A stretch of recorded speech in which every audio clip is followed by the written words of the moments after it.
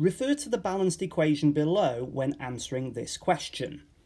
In the balanced equation, the mole ratio for sulfuric acid to water is.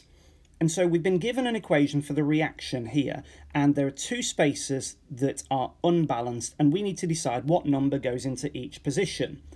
The first substance on the left-hand side has got three elements in, hydrogen, sulfur and oxygen, whereas on the right-hand side we've just got hydrogen and oxygen. So we should solve the one on the left first and balance for sulfur. In the Cr2SO4-3, there are three sulfur atoms, and in K2SO4 there is a fourth. So since there are four sulfurs on the right-hand side, we need to put a 4 here.